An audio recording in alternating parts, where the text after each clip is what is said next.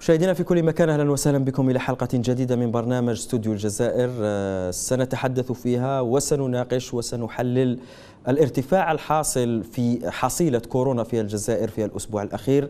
كما آه، تابعتم الجزائر تحصي معدلات مرتفعة قياسيا آه، مقارنة بما كانت تحصيه قبل نحو شهرين أو ثلاثة أشهر من الآن. اليوم تم إحصاء 813 حالة آه، جديدة. مع إحصاء 13 حالة وفاة رحمهم الله جميعا و528 حالة شفاء.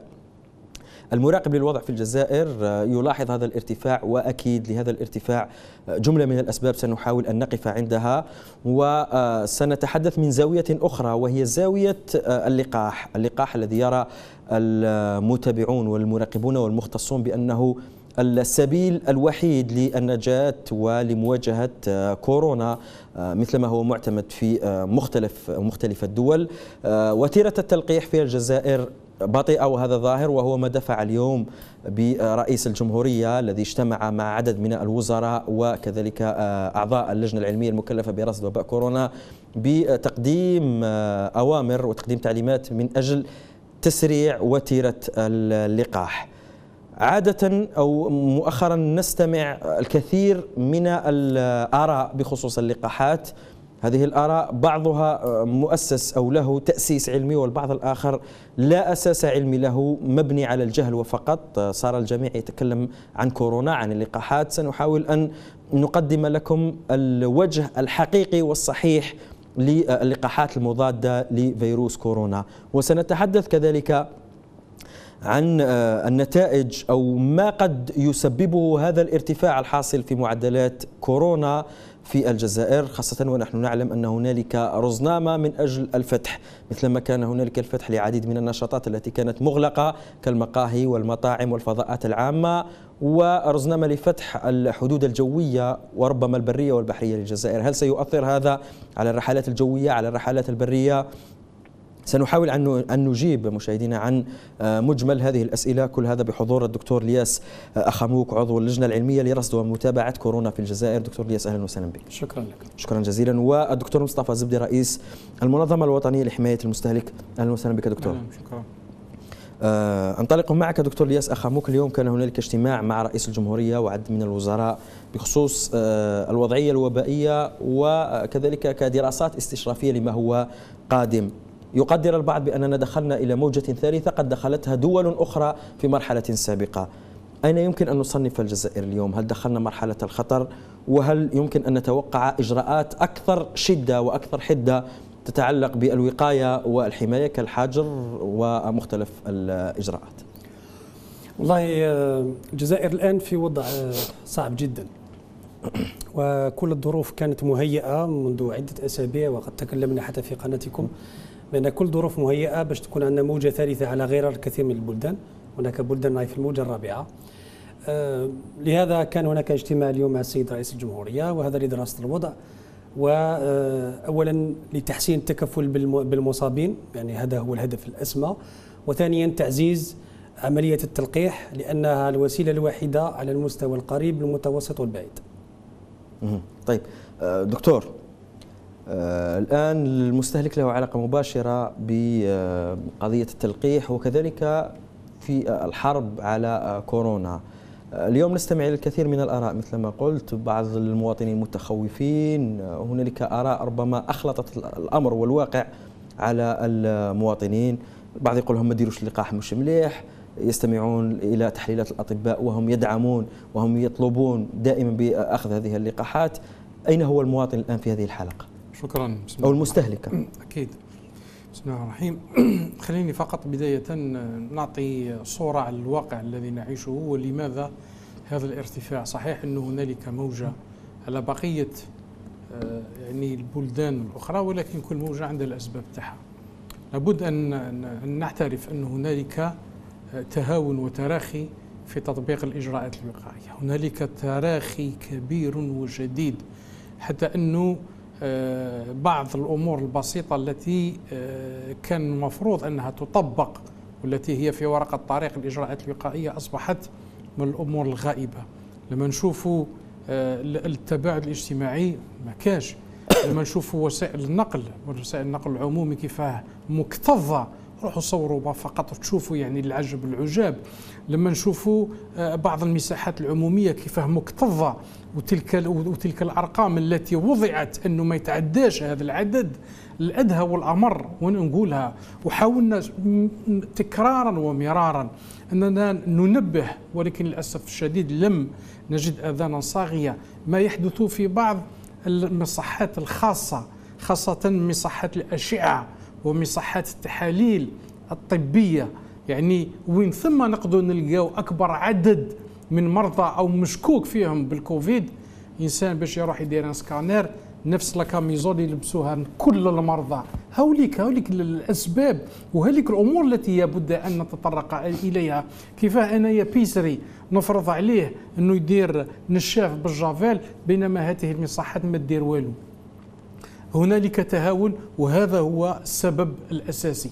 صحيح أنه الآن الحمد لله بدأت دفعات من اللقاح وأن اللقاح نشوفه أنه كحل صحيح يبدأ من الآن ولكن النتائج راهي على المدى المتوسط والبعيد لأنه الآن يعني التصدي يكون من خلال الإجراءات كيف تقيمون وتيرة آه، سير عملية التلقيح في الجزائر؟ بطيئة نقول التلقيح وقتها بدأ. التلقيح بدأ في نهاية آه، جونفي جونفي بأمر من السيد رئيس الجمهورية لو كان ما امرش السيد رئيس الجمهورية ما درناش اللقاح الآن أنا في جويليا وين كاين دفعات وين بدا بوتيرة قوية ومنا ممكن الآخر 2021 حسب حسب ما يقال ممكن أن نصل إلى 20 مليون جرعة الوتيرة بطيئة جدا وهنالك تردد وتخوف لماذا؟ أه؟ هنالك تخوف من كثير من المواطنين هنالك لماذا هذه التخوف؟ هذاك نقول لك هنالك هواجس لم ترفع لحد الآن درنا كمنظمه صبر آراء مس آلاف من المواطنين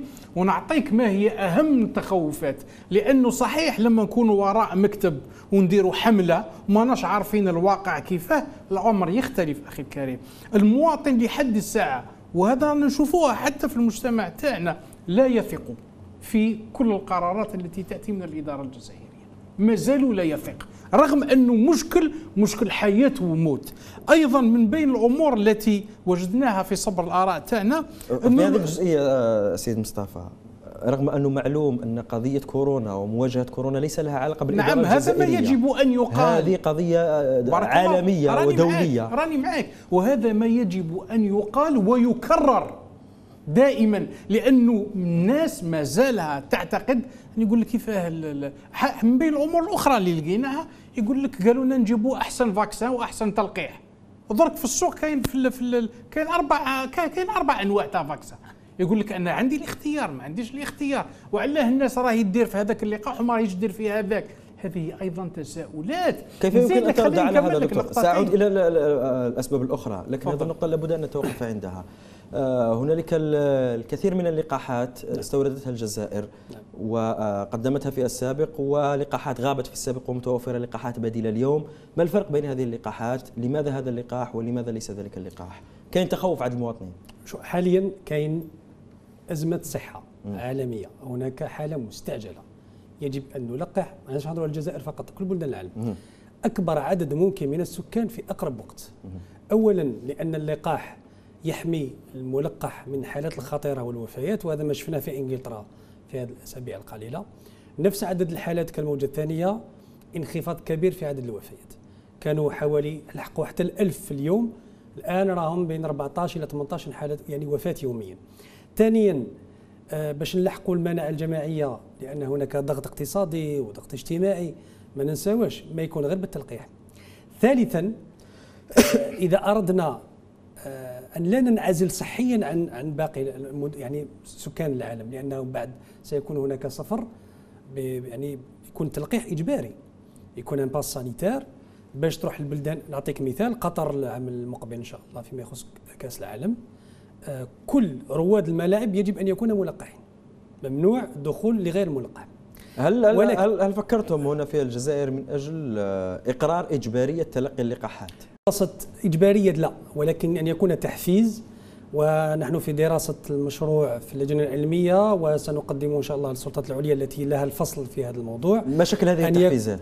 أن يكون كل متلقي للقاح يكون عنده شهادة تلقيح فيها un QR code فيها يعني un code يتقرأ بالهاتف الذكي ب smartphone آه، أي إدارة يعني تقدر مراقبة تقرأ الورقة هذيك باش تشوف الإنسان ملقح أم لا وممكن بعد آه، ما يعطونا يعني لاكور تاع السلطات العليا أن يكون هناك منع الدخول يعني الأماكن هذه كالحفلات أو الملاعب أو إلى غيرها إلا من الناس الملقحين وهذا ما نراه في كأس أمم أوروبا لرغم وجود الجماهير في الملاعب ولكنهم ملقحين. حبيت نقول لك برك فيما يخص عدد التلقيحات قلت لك ما كان حتى مخبر يقدر يمد كمية كافية في شهر أو شهرين أو ثلاثة. كندا عندها خمس لقاحات. طيب في هذا في هذه الجزئيه دكتور. إنجلترا عندها ثلثين من أسترازينيكا ثلث من فايزر وموديرنا. كل البلدان تتبع على الأقل من ثلاثة إلى خمس لقاحات. هذا لتسريع العملية. طيب آه، هنالك أرقام آه، رسمية تقدمها منظمة الصحة العالمية. هي كالآتي الصين آه، قامت بتلقيح 223 مليون شخص. الهند قامت بتلقيح 70.3 مليون شخص ما يمثل 5.1% من سكان الهند. أمريكا الولايات المتحدة الأمريكية 158 مليون شخص ما يمثل 48.2% من سكان أمريكا. بريطانيا 34.2 مليون شخص ما يمثل 51% آه، ألمانيا 33 مليون ما يمثل 40% فرنسا 23 مليون ما يمثل 35% المغرب 9.21 آه، مليون ما يمثل 25% السعودية 2 مليون ما يمثل 6% مصر 980 ألف ما يمثل 1% تونس 608 608 آلاف شخص تلقى اللقاح ما يمثل 5.2% لكننا لم نجد أرقام الجزائر. إذا ممكن تعطينا الأرقام آه، فيما يتعلق بإحصائيات اللقاح في الجزائر دكتور؟ والله الأرقام آه، هي تبع اللجنة اللجنة التقنية للتلقيح. معنا مش اللجنة العلمية اللي إحنا فيما فيما يخص اختيار اللقاح. مم. ولكن دكتور فرار صرح يوم الخميس بأن تجاوزنا المليوني آه، تلقيح في الجزائر. ولكن ما عنديش الرقم الدقيق اللي هي اللجنة التقنية للتلقيح. ولكن صح بدينا ببطء شديد وهذا لنقص كمية اللقاحات. الآن لحقنا آه، تجاوزنا المليونين و500 جرعة. في شهر جويلية إن شاء الله سيكون لنا 5 ملايين جرعة. طيب دكتور مصطفى هل متوفر اللقاحات الآن؟ لما مواطن آه، يريد أن يأخذ اللقاح هل يجد؟ فعلا الآن سمعنا أنه حتى بعض المساجد فتحت يعني لأجل التلقيح وذلك بعض المساحات العمومية التي تم وضعها إذا أردنا أن نصل إلى نسبة جيدة خاصة مع قدوم هذه الجرعات الكبيرة لابد أن تكون وتيرة التلقيح واسعة. وحنا نحن نقترح أيضا. المشكل مشكل وفره مشكل ما كانتش وفرة الآن كان وفرة. بالتالي طيب. ما كانتش وفرة. طيب الآن هل المشكل هو مشكل وفرة أم مشكل تخوف؟ مشكل تخوف. أنا قلت لك كاين كثير من المواطنين متخوفين. نزيد إذا سمحت نزيد لك بعض النقاط. فضل. وأنا لما أطرح هذه النقاط. بالفعل يعني ان نشاطرك في النقطة الأولى تاع الثقة ونشاطر الأستاذ لما هدر على عندنا بصح هذا ما يجب أن يسمعه المواطن. نعم. المواطن ماهوش يسمع في هذا الشيء للأسف الشديد. المواطن نهضروا له هضرة أكاديمية اللقاح يدير يدير لك المناعه les anticorps يفهموه. نعطيك بنزيد الأسئلة اللي نطرحها. ماهوش لأجل التعجيز ولكن لأجل توضيح الصورة. المواطن يقول لك أنا اللقاح اللي راكم تجيبوا فيه في درجة ناقص 20 وناقص 18 وتروح ديره لي في polyclinique. polyclinique عنده حرارة هذا سؤال مهم جدا. الذي يريد يدير التلقيح يقول لك الطبيب أنا جاري ما يدير؟ الأطباء ما همش يدير كاين عزوف. هل, هل, هل صحيح في عزوف الأطباء آه، عزفوا عن تلقي اللقاح؟ هل هنالك آه، إجبارية التلقيح للأطباء؟ لا لا يوجد اجباريه لا يوجد إجبارية التلقيح أنت هل تلقيت اللقاح دكتور؟ بالطبع. بالطبع. في شهر فيفري الماضي لاني طبيب في أمراض المعدية أنا نخدم مع مرضى الكوفيد لهذا من الطبيعي كما ديت لقاح تاع l'hépatite B لأني عندي مرضى عندهم l'hépatite B. كما كنت صغير درت لقاح تاع السعال ديكي وتاع بوحمرون وتاع tétanos يعني هذا اللقاح لماذا هذا التخوف الآن؟ ما تفسيركم لهذه التخوفات من المواطنين؟ والله أظن بأننا قصرنا فيما يخص بعض بعض الأسئلة اللي كما قال كما قال الدكتور. رحنا في الجانب الأكاديمي وهذه من توجيهات رئيس الجمهورية صباحا قالنا تكثيف والتكييف العملية. لأنه كما قلت أنت أنا صح سؤال أنا أنا طبيب يعني ممكن أسئلة تجيني غير طبيعية ولكن المواطن البسيط من عنده الحق. آه كان حتى خطره سقساني شرطي قال لي طبيب ندير ال vaccin قال لي parce que شفت فيديوهات يديروا ال vaccin يلصق التليفون في في, في الديرة. ما حقيقه تلك الفيديوهات دكتور؟ لا ابدا ابدا ابدا. غير صحيحة. ابدا غير صحيحة لأن هناك بعض الأشخاص عندهم قابلية باش يكون عندهم يعني شوية حتى بدون لقاح إيه لا لا ما كان نكمل فقط نعم. فيصل والله من بين الأمور اللي لقيناها حاول قال لك شريحة ممغنطه قال لك هذا هذا اللقاح فيه شريحة فيه une puce magnétique باش تدخل عن طريق والإبرة هذيك كيفاش تدخل؟ لا هي شوف هناك حرب اقتصادية. أسترازينيكا للانسان اللي ماهوش مطلع أسترازينيكا الوحيد اللي عنده اثار جانبيه وكأن اللقاحات الأخرى ما عندهاش اثار جانبيه كل لقاحات عندها آثار جانبية. حتى أسترازينيكا كما قلت لك 4 إلى 5 في المليون جرعة. آه كي نقول لك أنا في فرنسا في العالم كل عام يتوفاو 10000 شخص بسبب الباراسيتامول. كل يدي كل لأنه بشكل عشوائي. لأن مادة كيميائية لازم يكون هناك حذر. لهذا أقول لك أنا يعني نسبة الوفيات قليلة وقليلة جدا ولكن تعرفوا باللي كي يكون خبر سيء دائما يغطي الأخبار الجيدة. فيما يخص المواطن أنا نعترف بأن يجب أن ليس تبسيط لأن المواطن الجزائري عنده ثقافة وعنده في فيسبوك وعنده تويتر وعنده جوجل ولكن للأسف الشديد يثق في نعم ولكن يجب أن نعطي بعض المعلومات كما قال الأستاذ طيب فيما يخص الحراره درجة الحرارة بشكل بسيط دكتور بشكل بسيط. أنا مواطن مثلا أنا مواطن الآن مقابله وأنا متخوف من أخذ هذا اللقاح. كيف يمكن أن تقنع كيف يمكن أن تقنعني بأخذ هذا اللقاح؟ كاين مواطن خايف الآن. نعم. اولا اللقاح يحمي قريب 100% من الحالات الخطيرة والوفيات. وهذا أثبت نتائجه في إنجلترا. نفس عدد الحالات نسبة الوفيات قريب 10% يعني من اللي كانت من قبل. يعني هذا ما هو فعال. من جهة الفعالية كل اللقاحات المتواجدة حتى في الجزائر فعالة حتى ضد السلالات السلالات هذه الجديدة المتغيرة. ثانيا فيما يخص الأمان. أولا حتى أسترازينيكا اللي صار عليه لغط كبير و كانوا أربعة خمس وفيات في كل مليون جرعة كي نشوفوا في الكوفيد راهي نسبة واحد نقولوا واحد بالمئة من الوفيات. يعني عندك ألف خطرة تموت بالكوفيد وما تموتش باللقاح. ثالثا لحد الآن في الجزائر عندنا مركز لليقظة الصيدلانية. نسجل فيه كل أثار جانبية حتى الخفيفة. لحد الآن لم يتم تسجيل وفاة أو حالة خطيرة للقاح منذ بداية حملة التلقيح منذ بداية حملة التلقيح صح بدينا ببطء. ولكن لحد الآن لم توجد مشاكل. ونعرفوا المواطن الجزائري كيشوف الجار تاعو دار اللقاح ويشوف الطبيب تاعو عندك الحق دار اللقاح يقول لك أنا ندير اللقاح. ولكن شفنا هذا اليومين مع ارتفاع عدد الحالات كان هناك إقبال أكبر لأن على بالكم كل ما يكون هناك ارتفاع عدد الحالات كل ما واحد يسمع جاره توفى بالكوفيد ولا يسمع خاله توفى بالكوفيد ولا يسمع آه، أخوه توفى بالكوفيد. هذا يشجع أكثر للأسف مرينا بفترة أريحية. لي أظن من أسباب العزوف يقول لك أنا ما كاش الكوفيد علاه نروح ندير ندير اللقاح ولكن الآن الحاله مستعجله. طيب نتوقف عند فاصل قصير وبعد ذلك سنعود لمواصلة النقاش.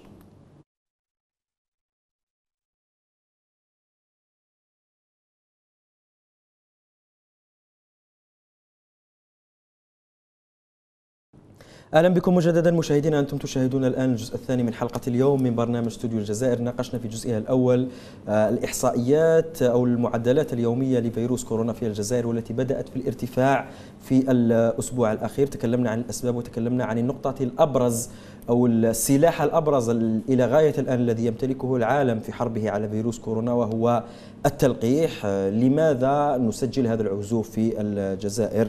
ونحن آه، نتحدث عن تلقيح تقريبا نصف الشعب الأمريكي ونصف الشعب البريطاني و 36 و 35% من الشعب الفرنسي والإيطالي. آه، سأواصل النقاش وأتحول الآن إلى ليون الفرنسية للدكتور يحيى مكي عبد المؤمن المختص في علم الفيروسات. دكتور أهلا وسهلا بك.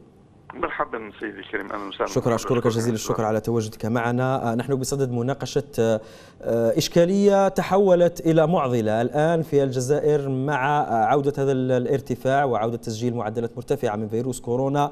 يبرز النقاش حول أهمية أخذ اللقاحات. هنالك بعض الآراء تنتشر في الشارع الجزائري وتخوف بدون أي تأسيس علمي آه، من استعمال آه، هذه اللقاحات وأكيد أنت استمعت إلى آه، هذه التفسيرات. ما رأيك في هذه التفسيرات التي تخيف من استعمال ومن أخذ اللقاحات المضادة لكورونا دكتور؟ نعم أشكرك على هذا الموضوع القيم لأنه حاليا نحن لسنا لسنا ليس لنا خيارات. لنا خيار واحد. العدو أمامنا وهو فيروس لا نراه ولا نلتمسه ولا نشمه. وهذا العدو قاتل سم قاتل. إذا أصاب الإنسان لا قدر الله يميته يصيبه فيدخل العناية المركزة والإنعاش والكوما كما نقول بالدارجة ويميته. لكن في نفس الوقت بفضل الله سبحانه وتعالى وبفضل العلم والعلماء والمال والأبحاث والخبراء وصلنا إلى اللقاح في أقل من سنة. وهذا اللقاح اليوم وزعنا في العالم ما يفوق 3 ملاير و500 مليون جرعة لقاح. ولقحنا به في العالم. والدول الكبرى لقحت.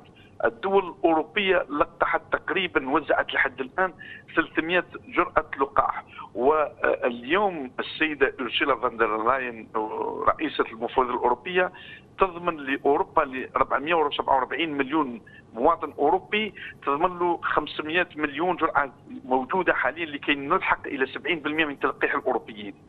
فأنا أخاطب المواطن الجزائري والمواطنة الكريمة. ما الذي يبين لك بانه هذا اللقاح مضر وقاتل وما تلقحش وقعد بلاش؟ وخاصة إذا كان هذا الذي يرفض اللقاح والتلقيح والتطعيم هو طبيب أو هو ممرض أو ممرضة أو قابلة أو مدير مستشفى أو في الإدارة. يا اما نخاطب العلم. والعلم بين والعلم يبني آه، بيوت العز بيوت لا عماد لها. والجهل يهدم بيوت العز والكرم. إذا أردنا بالجهل أن نوصل روحنا إلى ما وصلت إليه آه، الجارة الحبيبة تونس وهي في أزمة كبيرة للإخوة التونسيين وندعو الله سبحانه وتعالى أن يرفع عنهم هذا الوباء عن كل الدول والشعوب. والجزائر اليوم هي تحارب الكوفيد في دولتها وفي وطنها وتمد وتمد يد المساعدة إلى تونس بالأكسجين. لأنه هذا هو حال المسلم كيف يساعد أخيه ويحمي نفسه؟ اليوم اللقاح موجود ربما ليس موجود ل 44 مليون نسمة لكن هذا بسبب الدول التي تصنع اللقاح كيف توزع على الدول. الجزائر لها القدرة أن تشتري وتحصل على اللقاح بمزيد من الجرعات بالملايين إن شاء الله في الأسابيع القادمة. لكن إذا كان موجود لقاح في أي مستشفى أو أي ولاية والشعب أو المواطن أو الطبيب يرفضوا فهذا ظلم وهذا ربما جرم في حق الإنسان وفي حق المواطن لأنه الذي يرفض أنا أسأل كم عندنا من مريض في العناية المركزة وكم من مصاب اليوم؟ أكثر من 800 800 شخص مصاب اليوم هذه على الذين فحصوا في المستشفيات نعم. وما الذين اصيبوا ولم يفحصوا في ويشخص عندهم طيب دكتور آه، نعم. بلغة العلم آه، مثل ما تقول ما الذي يسببه اللقاح لجسم الإنسان؟ ما هي التغييرات التي يجريها هذا اللقاح على جسم الإنسان أو على وظائفه؟ لا كل كل كل جسم يدخل في جسم الإنسان. والله يا سيدي أنا نسأل الناس ما الفرق ما بين اللقاح والتدخين؟ اللي يكمي الدخان. اللي يكمي الدخان والفرق اللي يدير الابره تاع الدخان. اللي يدير الابره تاع اللقاح ها هنا معروف المكونات معروفة ونكتبوا باللي اللي عنده حساسية. لهذه المادة هذه المادة ما نلقحوش. اللي ما عندوش حساسية عمره ما دارها نلقحوه. لكن بينما السيجارة واحدة فيها 1200 مادة سامة.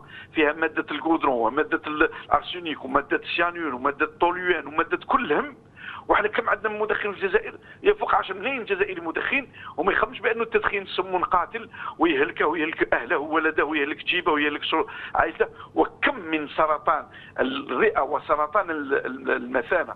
Le cancer de la vessie, 90% le cancer de la vessie, c'est officiel maintenant, c'est le tabac.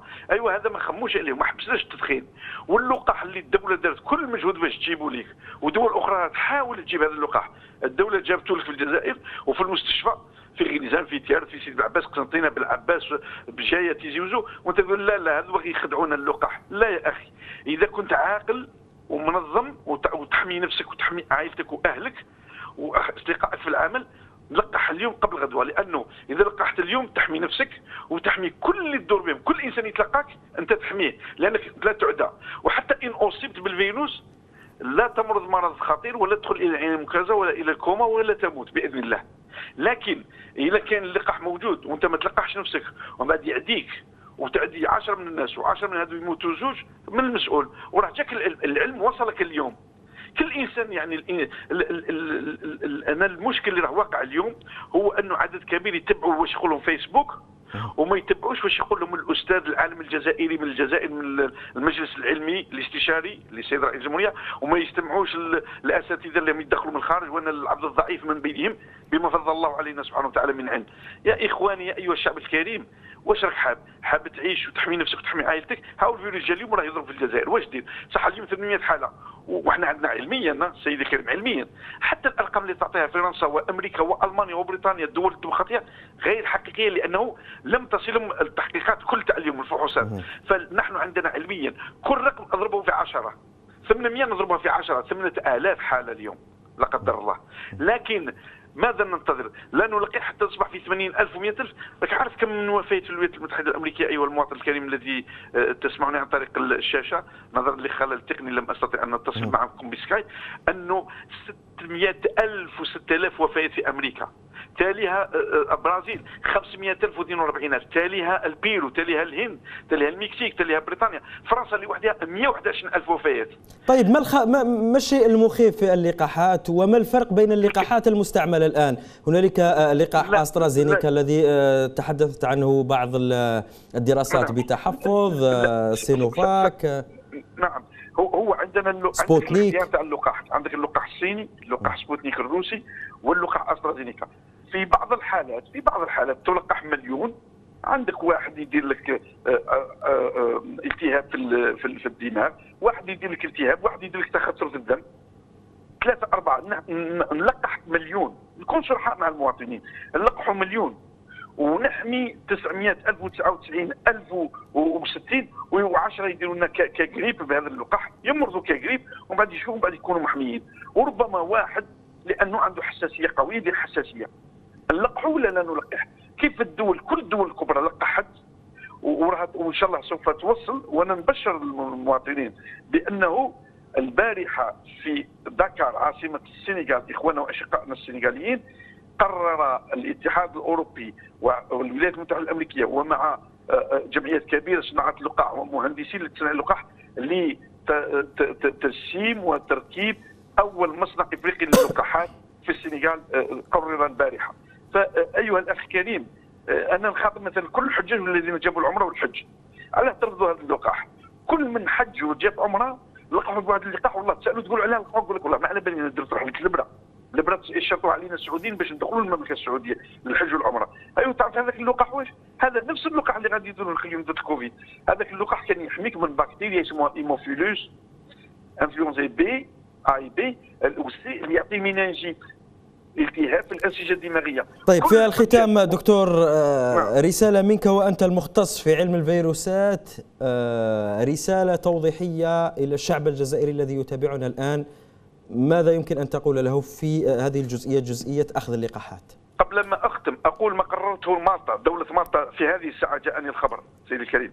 مالطا قررت لا تستقبل أي م م م مسافر أو سائح لمالطا إلا وله جرعه من اللقاح. هذه مالطا. كل الدول الأوروبية سوف تفرض هذا. وفرنسا كل من يأتي من تونس اليوم قررت كل ما يأتي من تونس حجر صحي شامل عشرة أيام. فأنا الخطاب الذي أقوله لكل مواطن كريم الشعب الجزائري شعب يعني يثق في الله ويحب الله فإن كنت تحب الله ورسوله فعليك باللقاح. لا تلقح فإنك لا تحب الله ولا تحب الرسول لأنه الله والرسول قال لك من أحيا نفسك كأنما أحيا جميعها. عندما تلقح نفسك تحمي روحك وتحمي جسدك تحمي زوجتك تحمي أولادك عائلتك أجدادك أمامك وإحنا كذلك على قروب أبواب عيد الأضحى لا ننسى صلاة العيد. والعيد الأضحية تلاقي فكل من يعني من الأفضل في هذه الأيام يا أخي حتى إلى زرت ما فيش قبلة. من البعيد عيدكم مبارك عيدكم مبارك. في المسجد لا نقبل أي مصلي أن يدخل إلى المساجد بدون قناع وسداجه وتطهير الأيادي عند دخول المسجد وبعد دخول المسجد. ترويحة وتهيئة وتهوئه المساجد. كل إدارة سيدي الكريم والله كل مدير كل سيد والي في الولاية سيد رئيس المحكمة وكيل الدولة كل مدير الشركات والله لا يقبل عامل يدخل وينقص له اجره العمل. المقابل الشهري اليومي اللي يجي بدون قناع يرفض له الخلصة تاع الشهر versement du salaire كل من يأتي إلى الإدارة هذا أنا اطلبها السيد مكي لكي أحمي وطني وأحمي شعبي. كل موظف في الإدارة يجي داخل الإدارة بدون قناع ما يدخلش ممنوع عليه. لأنك كيف نخاطب الشعب؟ خاطبناه يعني بالعلم ولم ولم يصدقونا بأن ما نقوله حقيقي. الفيروس موجود والضرر موجود والقتل موجود. وهذه النسخة الدلتا التي تنتشر اليوم 60% أكثر من النسخة البريطانية و120% أكثر من نسخة 2020 على إخواني المواطنين والمواطنات والله ما نقوله إلا حبا للوطن وحبا للشعب الجزائري وحبا أن نحمي. ماذا نريد؟ هل نريد أن الجزائر تقع وتصل إلى مرحلة تونس اليوم الشقيقة التي تساعدها السعودية وقطر وعدد كبير من الدول بالمستشفيات والأدوية وتساعد حتى الجزائر؟ علينا أن نجهز أنفسنا نجهز مستشفياتنا. وخاطب السيد الوزير الصحة آه، وأهنئه بتعيينه آه، وهذا لدوره الجبار يعني عين في الوزارة الجديدة. فتهنئا لك سيدي الوزير. الله يفتح عليك آه، زيد دعم المستشفيات بالأكسجين بالأقنعة بالوسائل علاج الكوفيد كذلك شكرا. تدخل السيد رئيس الجمهورية مهم جدا لنا لأنه إذا كان فيه تدعيم السيد رئيس الجمهورية عندما يقرر ويقول اللقاح 20 مليون يأتي شكرا. باللقاح السيد رئيس الجمهورية أشكرك جزيلا الشكر دكتور نخاطب العقل الجزائري أن شاء الله يتقبل اللقاح وخاصة السلك الطبي والشبه الطبي لأنه هو الذي يعالج وهو الذي يصاب أكثر لأنه شكرا. المرضى يجوا عنده بالفيروس أشكرك جزيل الشكر دكتور يحيى مكي عبد المختص في علم الفيروسات كنت معي مباشرة عبر الهاتف من ليون في آه، فرنسا. آه، أستاذ مصطفى زبدية الآن آه، في وسائل الحماية والوقاية صرنا نسبق الحديث عن اللقاح الآن. في السابق كنا نتحدث ربما عن الكمامات وعن غسل الأيدي اليوم. هنالك وسيلة أخرى هي اللقاحات. الآن هذه الوتيرة كيف يمكن أن نسرعها؟ شوف آه، هو لا يمكن الفصل بين الاثنين يعني حتى نصرح أنفسنا. لا نعم. يعني أنه الانسان لما يقوم بالتلقيح نعم. ينسى الإجراءات الوقائية لأنه يحمي نفسه ولكن يمكن بالفعل. أن يكون معدي. نعم. وشفنا بزاف حتى الناس ما هيش عارفة. كاين كثير من الناس يعني بدون كمامه يدخل يقول لك راني ما, ما, ما راني فاكسيني إيه أنت راك فاكسيني حامي نفسك. بصح هذا ماهوش فاكسيني هذا تقدر الذي أخذ اللقاح ليس معناه أنه لا يصاب بالفيروس. يصاب, يصاب بالفيروس هو وستكون له مناعة فورية. عنده مناعة فورية. ولكن يعدي يعني ممكن الإنسان اللي راه داير اللقاح ما يمرش لأنه داير اللقاح ولكن يقدر يكون متسبب في موت شخص آخر. هذا هي الطمة الكبرى. الآن الوتيرة لابد أن تكون سريعة.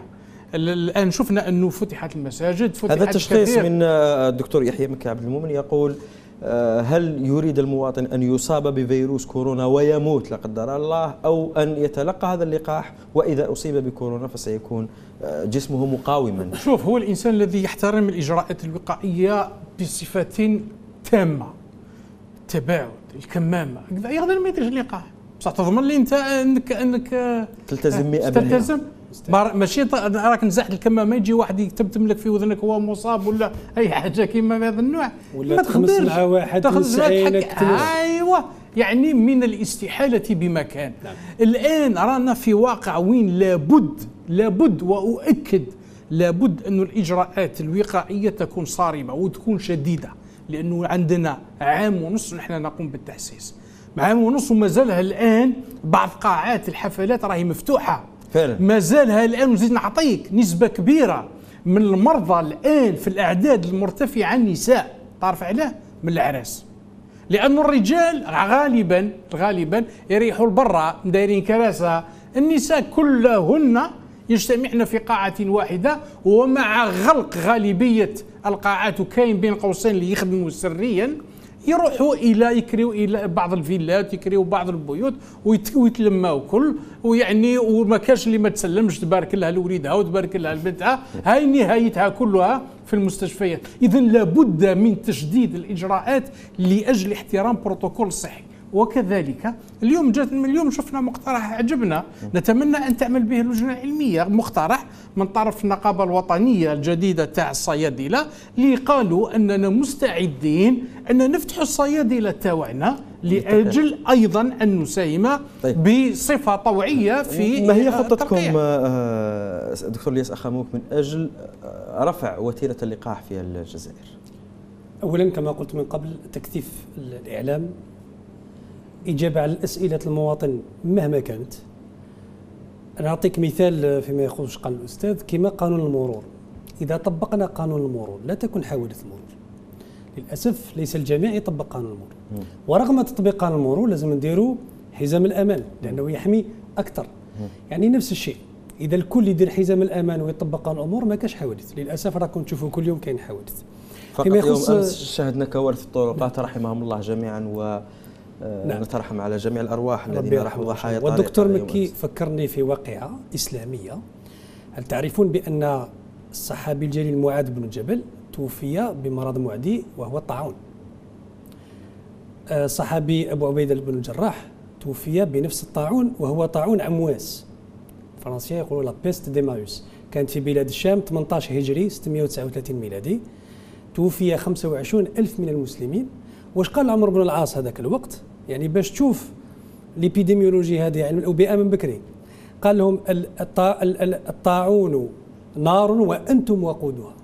فتفرقوا فلن تجد النار ما يوقدها فتنطفئ.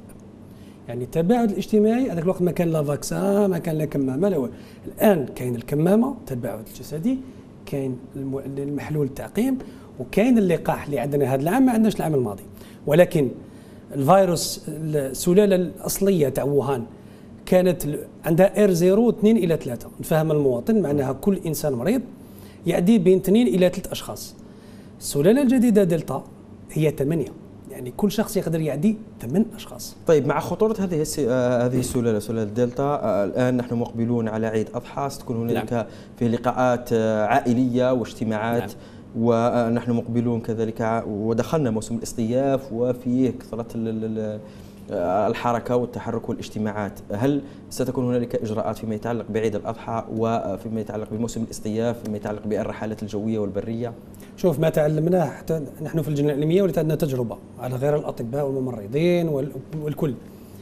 الآن رانا في في موجة ثالثة عندنا ارتفاع كبير في عدد الحالات يفصلنا عن عيد الأضحى أظن 10 أيام حوالي 10 أيام. الآن سنراقب الوضع نحن ما مهمتنا أن نديروا يعني ان اكيليبر نديروا آه، بين الحفاظ على أرواح الناس وبين آه، الوضع الاقتصادي والوضع الاجتماعي لأن حتى الآن المواطن الجزائري كره كره ماشي غير المواطن الجزائري في كافة العالم كره من الحجر الصحي وكره من الإجراءات وكاين اللي يحب يشوف باباه وكان يشوف يماه إلى آخره.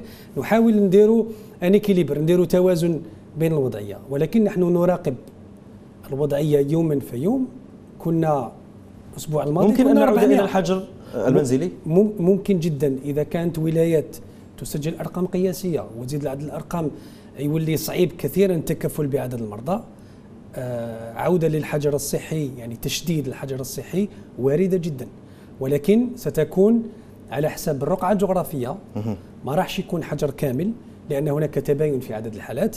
ولكن القرارات ستؤخذ على حساب دائما تكون آنية ما تكونش قرارات بالنسبة يعني لعيد الأضحى ستكون هناك إجراءات خاصة بعيد الأضحى المبارك. والله عيد الأضحى أظن يعني لا ما كانش مانع باش نعيدوا يعني كما مؤلف ولكن هناك بروتوكول صحي الكل يعرفه كما قال الأستاذ الدكتور دكتور مكي نقدر نزور العائلة من بعيد وندير الكمامة وندير التعقيم.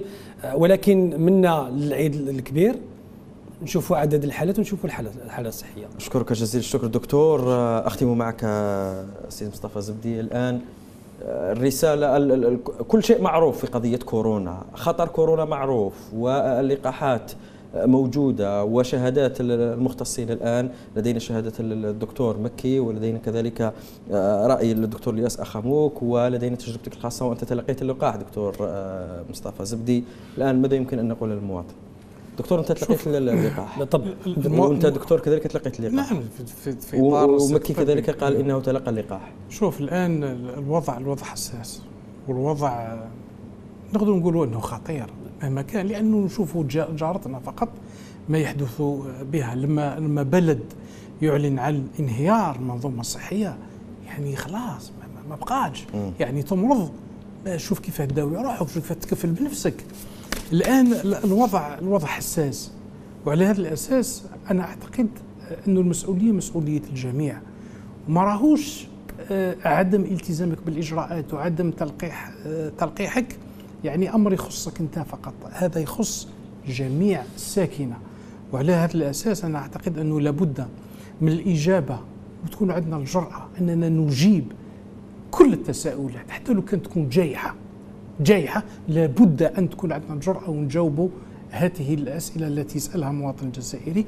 وكذلك كذلك أمر مهم جدا. الآن آه، نحن في مرحلة إقناع. ومرحلة الإقناع هذه تحتاج إلى عمل تحتاج إلى تحسيس. الحق الجمعيات نتمنى أنها تواصل في العمل تاعها. ولكن لما نشوفوا بعض الومضات الإشهارية لأنه هذه أيضا يعني ننصح خوتي في اللجنة العلمية أنه لابد من ومضات إشهارية وعلى أن لما يتعلق الأمر بمشروب يتعلق الأمر بقهوة يتعلق الأمر بشيبس نشوفوا آه، ممثلين نشوفوا آه، رياضيين ولما يتعلق الأمر بلقاح ما نشوفوهمش كذلك شكرا. نتمنى أيضا نقطة مهمة باختصار. لأنه الآن اللي اللي لقحوا الأولين هم السلك الطبي هم المسؤولين إلى غير ذلك ودرك تلحق وين لازم يعاودوا يديروا له رابيل تاعهم. نتمناو شكرا. أيضا أنها تكون تغطية إعلامية. مثلا مثلا الأخ لما يتحدث غدوة من غدوة يدير اللقاح تاعو وتروح أنت تصوروا هذاك المواطن ينتبه المعلومة تكون لها هذه أكثر. مهمة. بالنسبة للشخصيات أشكرك جزيل الشكر دكتور مصطفى زبدي رئيس المنظمة الوطنية لحماية المستهلك. دكتور الياس أخاموك عضو اللجنة العلمية لرصد ومتابعة كورونا في الجزائر. شكرا جزيلا لك. وكل الشكر موصول للدكتور يحيى مكي عبد المؤمن المختص في علم الفيروسات الذي كان معنا كذلك من ليون الفرنسية. إذا كما تابعتم مشاهدينا الوضعية صارت معروفة والعودة للالتزام بإجراءات الوقاية صارت لازمة والعودة للارتداء الكمامات بعدما غابت صرنا لا نشاهدها بشكل كبير في الشوارع وفي الفضاءات فلهذا لابد أن نعود لاستعمال كل وسائل الوقاية. وأبدأ بنفسي وألقاكم مشاهدينا في عدد قادم إن شاء الله. تصبحون على خير.